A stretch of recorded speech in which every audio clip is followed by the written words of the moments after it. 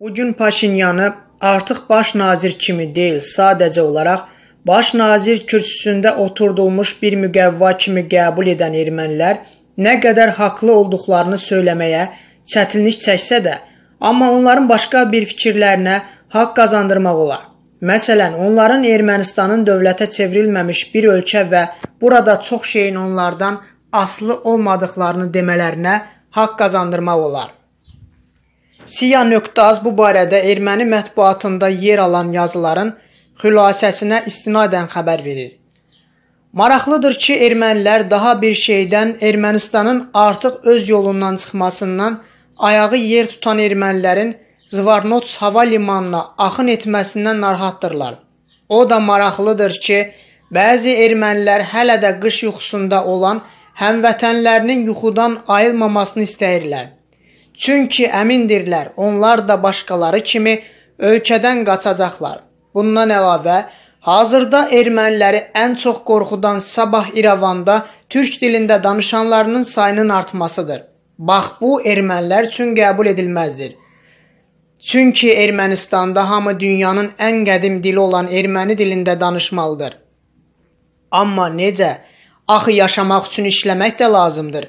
İşləməyə isə Ermənistanda iş yoxdur.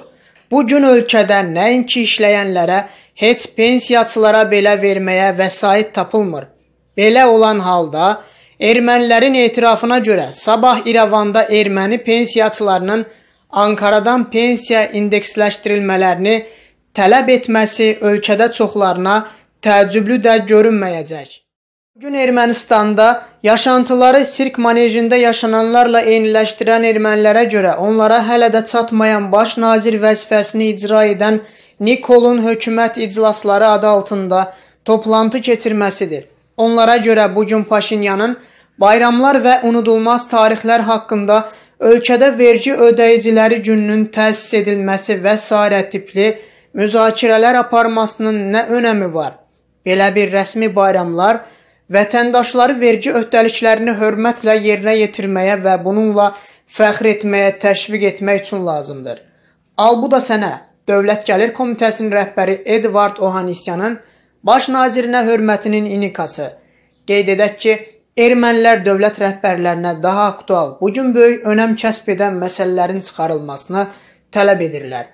Məsələn, ermənilər Paşinyan komandasına mobil telefonların məktəbə gətirilməsi ehtimalı gecə kalbasa satışının qadağan edilməsi və bir sıra digər günün vacib məsələlərini də dövlət iclaslarında müzakirə olunmasını təklif edirlər. Ermənilərin başqa bir etirafına görə bu gün ölkədə loru dildə desək heç it də yiyəsini tanımır.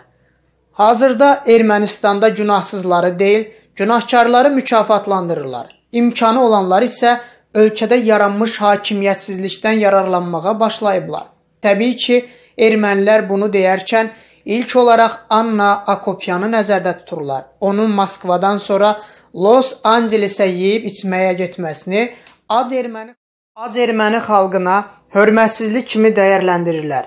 Mən əzadlarımı qınayıram, onlara lənət edirəm. Çünki bu gün bizim daha ləyaqətli və qürurlu yaşamağımız üçün heç bir şey etmədilər. Bunu baş nazir Nikol Paşinyan hakimiyyətə gəlməmişdən əvvəl söyləmişdi. Təbii ki, bu fikirləri oxuyanların bəziləri lap elə çoxu haradasa Nikola haqq qazandıra bilər.